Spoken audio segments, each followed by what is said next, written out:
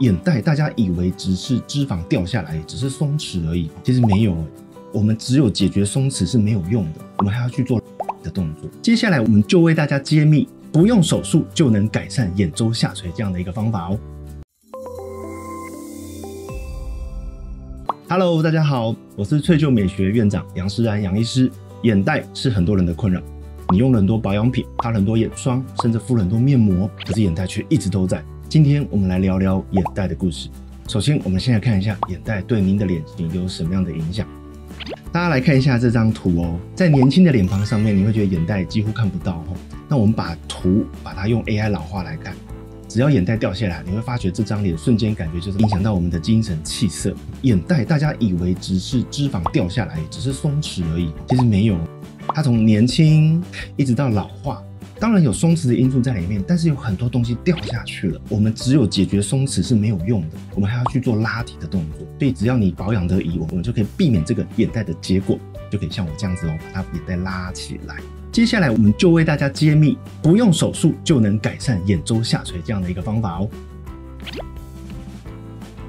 其实眼袋的老化原因非常的多元哦，眼睛使用过度造成眼袋老化。我们眼周每天眨眼睛会超过两万次，使用率是最高的。但是其实原因远远不止于此。我们眼袋是属于浅层脂肪垫，就是 A 这个区域，它随着年纪只会增加，所以越来越重。那 C 是它的地板，把它撑起来的，它是属于深层脂肪垫。C 这个脂肪垫随着年纪只会减少哦，吃保养品怎么睡都没有用，它就是一直变少。A 跟 C 的相对位置就很像我的手，浅层脂肪越来越多，深层脂肪越来越少。这个老化的过程，我们眼袋老态感就掉出来了。所以啊，把这个原因弄清楚之后，我们把深层脂肪垫，也就是在 C 的位置，我们增加它适合的材料进去，我们就可以阻止眼袋的老化哦。那所有的眼袋一定要靠手术解决吗？有没有可以不手术就解决眼袋的方法？有哦，其实靠微整填充就可以。但是我到底是严重到需要手术，还是我可以只靠打针呢？我请大家帮我做一个简单的测试哦，对着镜子露牙龈笑的时候，笑起来，大家可以看一下自己眼袋。有没有因为你笑起来，眼袋反而变少，甚至变小，even 变不见？这样的条件下面，你打微整呢都有很好的效果。但是啊，如果你笑起来反而眼袋变更大，代表我们的韧带的支撑都已经不见了。这个情况下面打微整的效果就会比较差，比较建议往手术的方向走。我们要在眼周这边打玻尿酸啊，其实非常吃医生对于眼周解剖位置构造的了解，血管在哪里，韧带在哪里，这个理解度一定要很够。哦至于我呢，我其实在眼周这边，我喜欢一个叫做用 O2 lifting，就是氧气打法来去改善眼周的老化。我们眼周这边的韧带刚好绕着眼睛有两个圈圈，有一个小 O，我们可以看下这个一二三这个小圈，那大 O 就是一二四五三，绕一个大圈。小 O 大 O 打起来，其实就可以改善我们整个眼周，包含像眼尾的松弛、眼皮的下垂、我们眼袋的老化，甚至泪沟、苹果肌的位置，都会跟这个五个韧带有关系。那这个一的位置啊，其实就是我们的颧弓韧带，它是最重要的，它可以去帮我们的眼袋做一个支撑，顶住它，就是我们今天所有材料的地基。各位想象自己是眼袋，你椅子上坐着坐垫。其实就是这个颧弓韧带，颧弓韧带后面脂肪垫不见，颧弓韧带就会掉下去，掉下去之后，你的老化就很快。同理可证，我们外面二号的眶外韧带四跟五啊，其实就我们的眼尾这些位置都可以靠我们的玻尿酸去把它撑起来，帮助我们改善眼周老化的问题。那相对的，要打在这个韧带后面的玻尿酸就不是随随便便的玻尿酸。比如我们家里的时钟粘在墙壁上面，我如果用粘土粘，它就可以粘得很好。我们把粘土换成一块猪油呢，是不是很快就掉下去了？那这个粘土啊，不能只有粘而已哦，我们脸上的韧带会每天做很多表情去切割它，所以材质适合的玻尿酸，我们再来做这这。样的施打才会有最好的结果。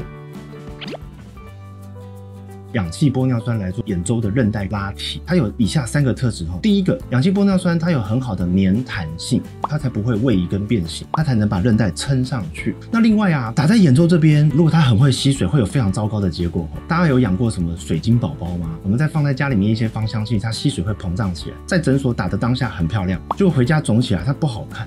所以我们要低吸水性。另外啊，全世界玻尿酸里面都有一个被大家讨论的点，就是交联剂 BDDE。玻尿酸因为不要让身体太快吸收，厂商都会加一些东西阻止玻尿酸被吸收。这个东西对身体啊一点点没有关系，但太多不行。所以这个东西越少越好。氧气玻尿酸的 BDDE 含量非常的低。交联剂有两只手，它会去抓旁边的那个玻尿酸。但是一般呢，在坊间上面市面上的玻尿酸，它基本上只有一只手会抓住玻尿酸，一只手是空着的。那氧气玻尿酸啊，他们用他们的专利去造成说他们两。两只手都抓到玻尿酸，使用的交联剂很少，但是交联率非常高，也就是说它可以用很低的交联剂给你很好的玻尿酸的维持度。所以啊，氧气玻尿酸结合了高粘弹性、低吸水性、低致敏性，适合拿来做韧带拉，打回家会自然好看。它 BDD 很低，交联效果好，这三个特点就是我拿来打 O2 lifting 最主要的首选原因。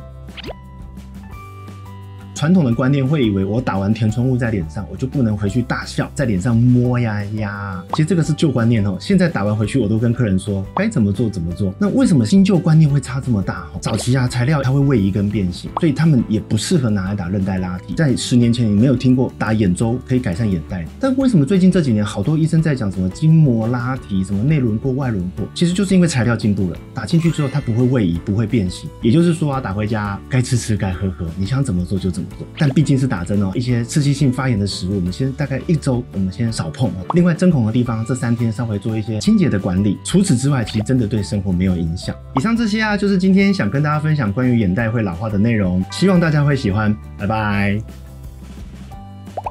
好，拿下去了。如果你喜欢我们的影片呢，请帮我们按喜欢、订阅，并且开启小铃铛哦。噔噔噔噔，这边这边。